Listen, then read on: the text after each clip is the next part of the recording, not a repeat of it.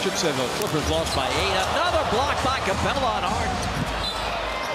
This one knocked out of bounds by Paul George. Uh, to say Capela no Harden is an understatement.